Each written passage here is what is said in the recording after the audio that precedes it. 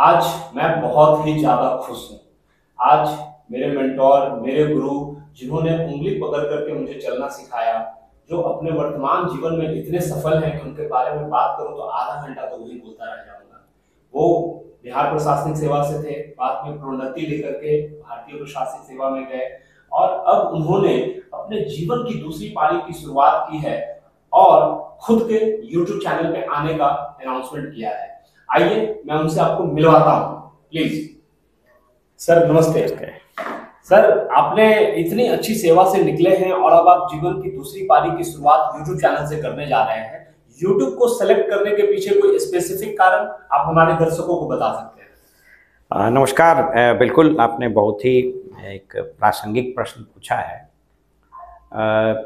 जैसा कि आप जानते हैं कि लगभग तैंतीस साल मैंने सरकारी सेवा में गुजारी और भारतीय प्रशासनिक सेवा में रहते हुए विभिन्न जगहों पर और कैपेसिटी में हमने काम किया। तो जीवन में बहुत सारे अनुभव हुए, बहुत सारे फील्ड्स को हमने देखा।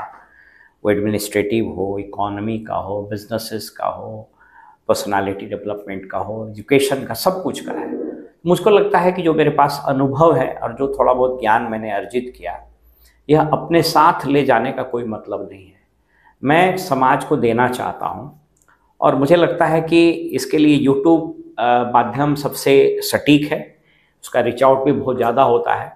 तो मैं जेन्यूनली अजय जी आपको बताऊँ कि मैं I just want to help people around मतलब अलग अलग क्षेत्र के जो लोग हैं चाहे वो आ, कोई बिज़नेस करना चाहते हैं अंटरप्रेन्योर्स बनना चाहते हैं कोई आ, कोई और चीज़ करना चाहते हैं कोई स्पिरिचुअल ही कुछ रहना चाहते हैं किन्हीं को और किसी विषय कोई स्टूडेंट है, तैयारी करना चाहता है।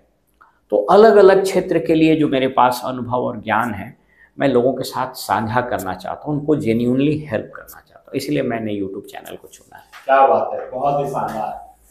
तो मैं आप सबों से ये अपील करना चाहता हूँ कि इस वीडियो के साथ जो यूट्यूब लिंक शेयर किया गया है, आप उसको सब्सक्राइब कर लें। और मैं हंड्रेड परसेंट एश्योर्ड हूँ कि इनके ज्ञान का लाभ आपके परिवार के एक एक सदस्य को मिलने वाला है।